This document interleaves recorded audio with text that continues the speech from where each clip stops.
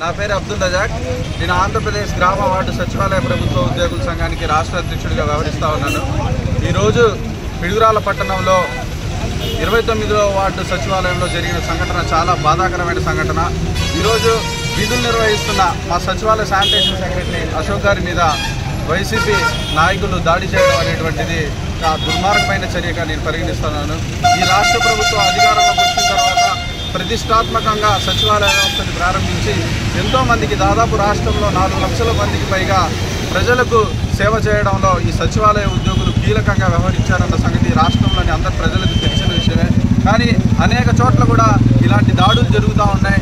ముఖ్యంగా ఇప్పుడు ఈరోజు చూసుకుంటా ఉంటే పిడుగురాల పట్టణంలో ఓ వైసీపీ నాయకుడు ఓ వైనెట్ ఏపీ జగన్ ప్రోగ్రాం జరుగుతున్న సందర్భంలో ఓ అన్యాయంగా మా సచివాలయ కార్యదర్శిపై చేయడం జరిగింది.